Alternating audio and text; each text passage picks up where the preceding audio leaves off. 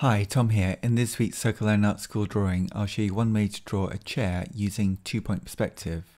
To start a drawing in two-point perspective, we need to draw the horizon line, which is the line that shows the height of our eye level. For this drawing, the chair is going to be above and below the horizon line, because we're going to look up to it and down at it at the same time. But before we do that, we need two points as the two vanishing points, far apart from each other. In perspective drawing, a vanishing point is where two parallel lines would look like they meet on the horizon. And then we can start by drawing a dot towards the base of the page, somewhere right of center. So from this dot at the base of the paper that represents the front corner of the base of the nearest chair leg, we need one line going to the left vanishing point, and then we need a second line going to the right vanishing point.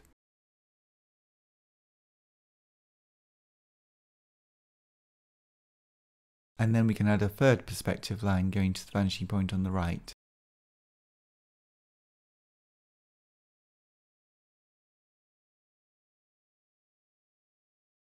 And a fourth perspective line going to the vanishing point on the left and in that way we've made a square in perspective, which is on the floor, which is mapping out where the chair legs of this chair will be.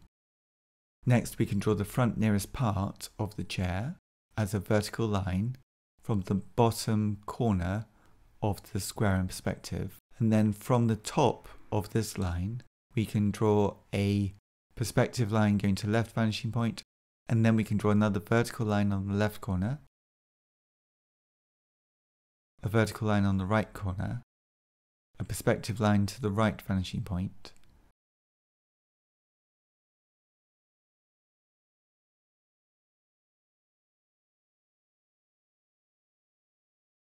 and then by adding two more perspective lines to the left and right vanishing points, then we have created a cube in two-point perspective.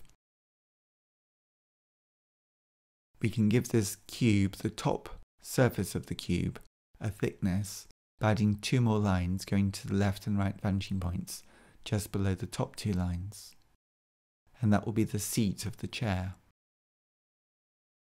Next, we can work out the thickness of the chair. For the front chair leg, we're seeing it going left and going right, so we've got two sides to draw, either side of the original vertical line. Using the same sort of thickness, maybe slightly thinner, we can draw another vertical line on the left for the left chair leg.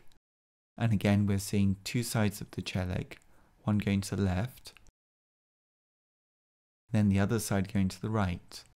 And we're building up this chair from the square in perspective on the ground. So we need to work out the base of the chair legs, and then we can draw the lines, the vertical lines, to make it into the chair leg that we need. Next, we can just repeat this on the right hand side. So again, another parallel vertical line, matching up with the first vertical line on the right. And then the base of the chair leg, the left hand side will go to the left vanishing point, and then the right hand side will go to the right vanishing point.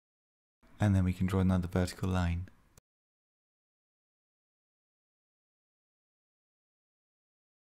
Now it might be helpful just to draw a guideline between the base of the chair legs on the ground on the floor. And then that will help us work out the base of the chair leg at the further distance in this cube. So now we have the base sort of footprint of the chair leg at the back. We can draw the center vertical line and then darken the baseline of the chair leg and then the left line and the right vertical line too. Depending on what angle you're looking at the chair, you might find that this chair leg is behind a chair leg that's in front of it. It just depends where you've placed the vanishing points and the initial dot for the corner of the nearest chair leg. We can continue the line in the middle of the chair leg on the right, going up further to make the back of the chair which will be a height which is above the horizon line. So anything below the horizon line we're looking down at, but anything above the horizon line we're looking up at, because the horizon line is also our eye line.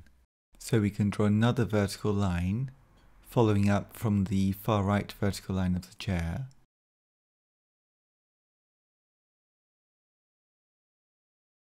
At the top of the back of the chair, it will recede to the right because it's going right. And then we can draw another perspective line to the left vanishing point for the top back of the chair going left. And then using the middle line first of the back chair leg, we can continue that up and then draw a line either side of it for the left and right hand side of that part of the chair.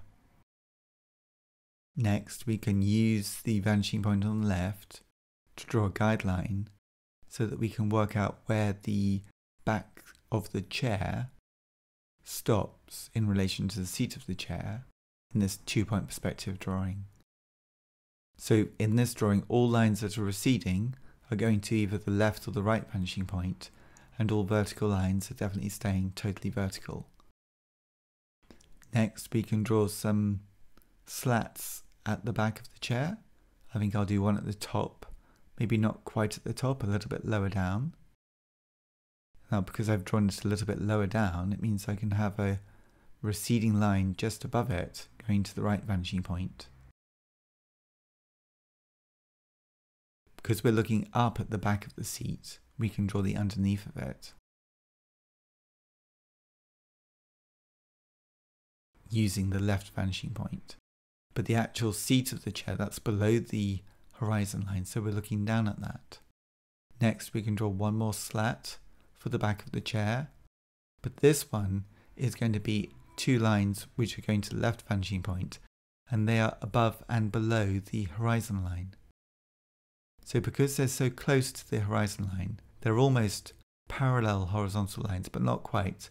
They just taper a little bit as they go left, but it means that we're not looking at the thickness of it. We can't see that because it's so close to the horizon.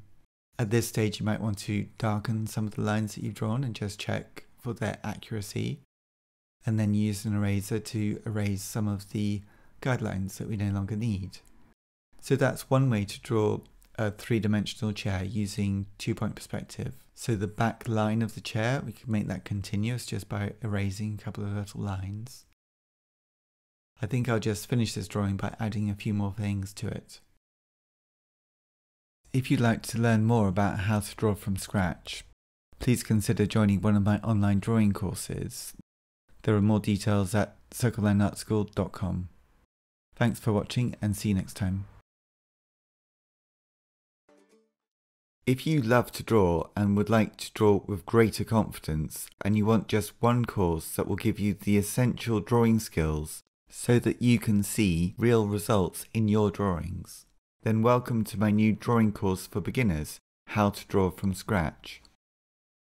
If you would like to know how to hold a pencil so that you can make the marks that you wish, how to draw a straight line, how to add realistic shadows to your drawings, how to master the basics of both one point and two point perspective, how to choose where to place vanishing points, and how to find perspective in a photograph, then this course is for you. In How to Draw from Scratch, I will show you all the shortcuts I have discovered over the years so that you will be able to see real improvements in your ability to draw with greater confidence by the time you complete this course. To join today, just click the link.